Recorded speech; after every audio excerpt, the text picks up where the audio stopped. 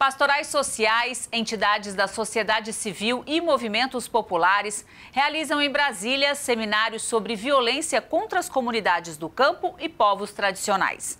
A reportagem é de Amanda Queiroz. O encontro foi marcado pelo diálogo e a escuta sobre a realidade vivida pelos povos nas bases.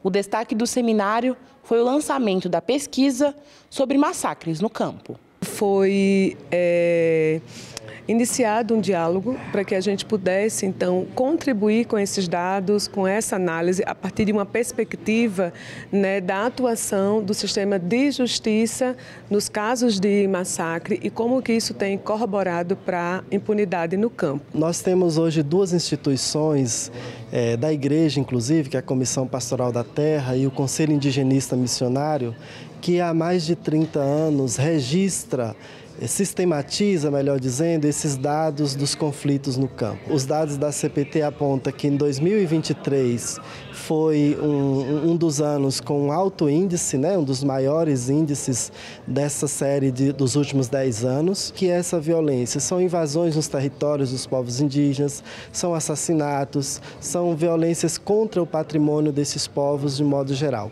Com esses dados, as representações desejam que os povos alcancem um futuro seguro e justo. Quando eu cheguei aqui, que eu deparei com tanta, tantas consequências, que não é só no Pará, mas que no Brasil todo, isso me fortaleceu muito. A gente sabe que é, a regularização desses espaços, que são espaços de vida, de alimento saudável, de cultura, eles garantem a paz no campo. Então, é, a importância desse momento aqui e dessa campanha é isso, é para dizer para a sociedade brasileira que nós precisamos construir uma sociedade de paz, mas que caibam a todos. Uma sociedade de paz que é o lugar onde todas as culturas, todos os povos podem viver. Amanda Queiroz para a Rede Vida de Televisão.